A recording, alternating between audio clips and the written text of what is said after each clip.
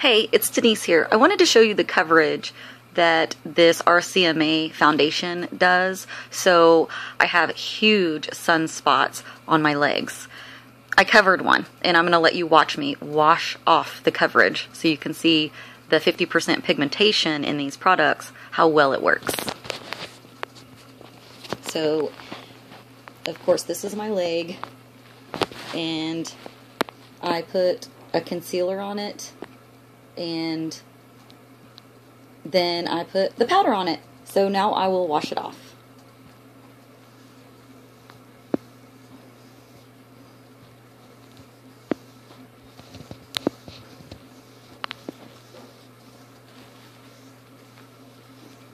So there shows my sun damaged legs.